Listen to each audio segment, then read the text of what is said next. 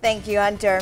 We often hear from adults about solutions to youth violence, but this week, kids are sharing their thoughts on how mentors can make a difference in our communities. Our morning reporter Wanye Reese is live in the studio to introduce us to another young man. Good morning, Wanye. Who do you have for us today? Good Thursday morning to you, Aaron and Caitlin. According to Big Brothers Big Sisters, children with a mentor, they are 33% less likely, likely to hit someone and even more less likely to commit another act of violence. Many, like Darius, who you're getting ready to meet, have good behavior and they want a role model to help them stay on track.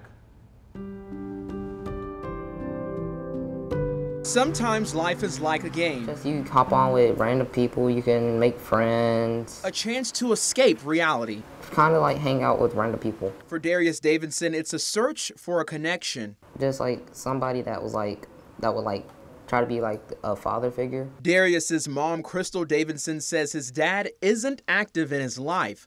So she enrolled Darius in Heart of Georgia Big Brothers Big Sisters, seeking a mentor to help guide her young man. Darius's mom didn't want to do an interview on camera, but she did speak with me off camera. She says that her son has a learning disability, so he needs a little extra help when it comes down to his math and reading. She also wants him to have a mentor that will help keep him on the right path.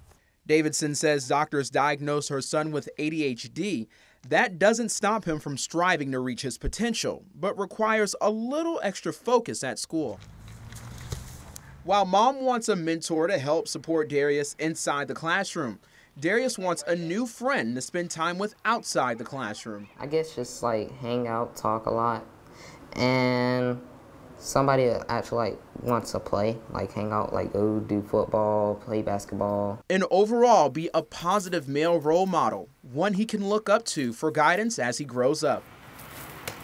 In every game, you either win or lose. But Darius believes having a mentor on his team could help him achieve more victories in life. All the information on mentoring children like Darius at our website. That's at 13wmaz.com. Big Brothers Big Sisters wants their volunteers to spend at least an hour or two with their littles each week. And mentors, they are required to go through a rigorous screening process, including a criminal background check. And parents, you do have the final say so on mentorship matches. Aaron and Caitlin, back to you. Oh, thank you so much, Wanye. Seems like a great young yes. man. And we do have a full guide on our website about mentoring as well as Wanye said. All right, now Heart of Georgia Big Brothers Big Sisters has more than 100 children on a waiting list for a mentor, and it can be you.